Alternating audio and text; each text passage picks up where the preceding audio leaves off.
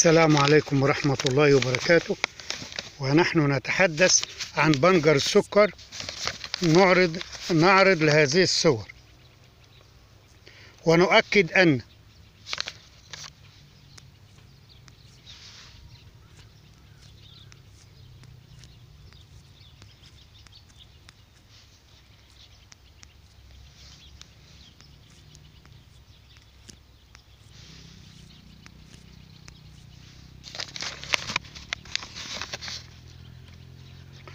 بنجر السكر محصول اقتصادي واستراتيجي مهم جدا لإنتاج السكر. والبنجر يتبع العائلة الرمرامية وهي فصيلة تشتمل على السبانخ والسلق.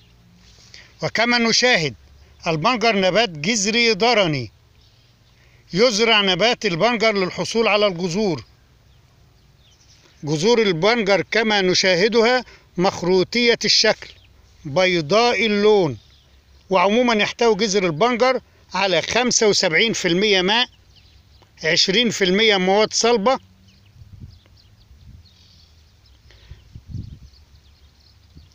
في المية المواد الصلبة تنقسم إلى ستاشر في المية سكروز أربعة في المية مواد غير سكرية عبارة عن مواد نيتروجينية وأملاح معدنية.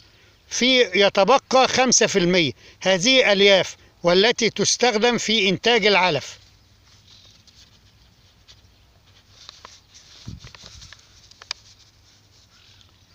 التقاوي يحتاج الفدان أربعة كيلو جرام من تقاوي البنجر في الزراعة اليدوية.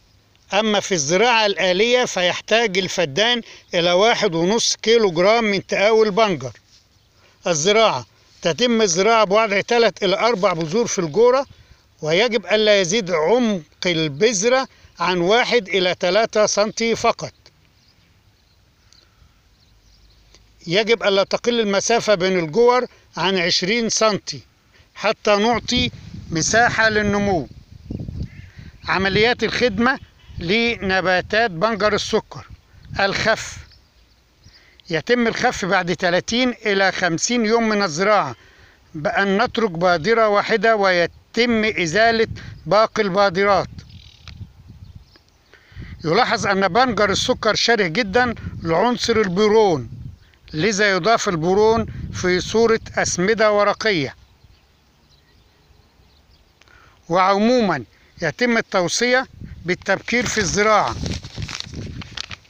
يتم التوصية بالتبكير في الزراعة وذلك ابتداء من منتصف سبتمبر حتى نص نوفمبر. بنجر السكر من المحاصيل عالية الاستجابة لزيادة الإنتاجية ولكن يشترط اتباع التطبيقات والعمليات الزراعية المناسبة. وفي حالة اتباع التطبيقات والعمليات الزراعية المناسبة يمكن أن يعطي الفدان 30 طن وأكثر. وعموما متوسط إنتاج الفدان إن شاء الله 20 طن. وعلى المزارع أن يراعي توريد المحصول عقب الحصاد مباشرة حتى لا تقل نسبة السكر في الضرنات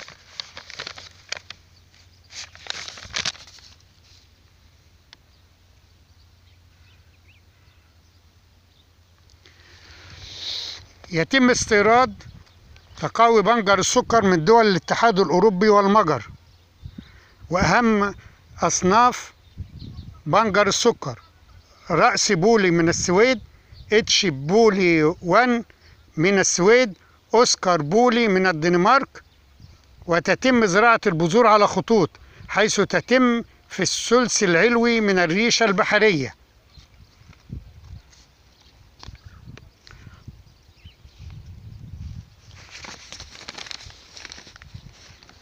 ملحوظة. بنجر السكر يحتاج إلى الخدمة الجيدة لذا يجب الاهتمام بعملية عزيق الأرض المنزرعة بنجر سكر. فكلما تم إجراء العزيق بكفاءة عالية زاد المحصول بنسبة 20 إلى 25% ويحتاج المحصول إلى ثلاث عزقات. العزقة الأولى تسمى خربشة والعزقة الأولى هذه أو الخربشة لسد الشقوق حول البادرات الصغيرة لبنجر السكر لحمايتها وكذلك لإزالة الحشائش النابتة. العزقة الثانية تتم قبل إجراء الخف وفيها يتم إزالة الحشائش مع خلخلة التربة حول الجور للمحافظة على البادرات عند الخف. أما العزقة الثالثة تتم قبل تشابك نباتات البنجر ويتم ذلك عن طريق خرط جزء من الريشة البطالة إلى الريشة العمالة وذلك حتى تصبح النباتات وسط الخط.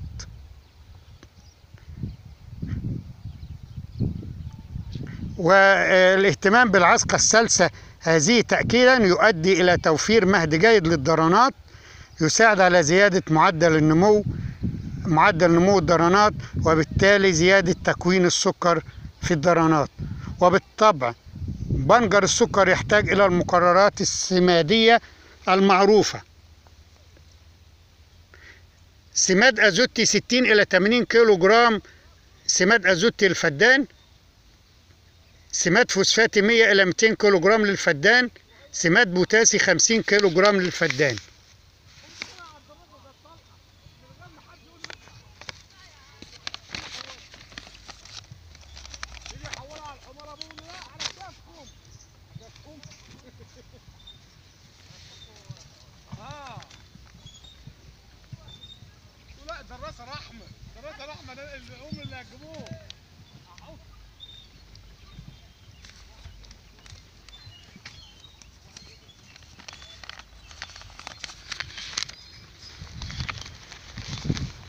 من المعروف أن البنجر أو بنجر السكر أصبح الآن من المحاصيل الهامة في إنتاج السكر.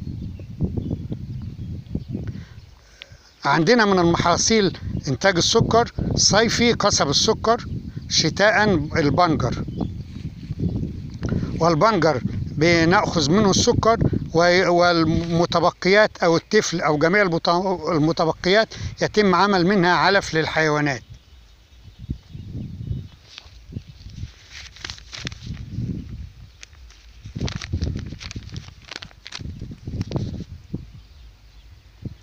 ونكرر مرة أخرى جذر بنجر السكر جذر بنجر السكر يحتوي على 75% ماء 20% مواد صلبة 5% ألياف التي تستخدم في إنتاج العلف. نعود مرة أخرى يبقى 75 مية 20% مواد صلبة. منها المواد الصلبة هذه منها 16% سكروز 4% مواد غير سكرية عبارة عن مواد نيتروجينية وأملاح معدنية. هذا هو حقل بنجر السكر.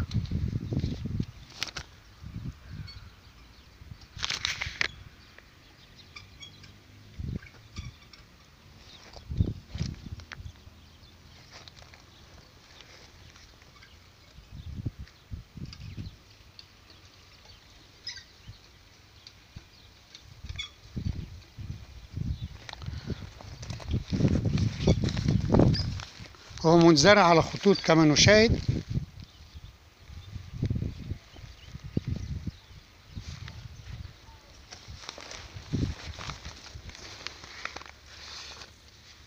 هذه ضرنات البنجر.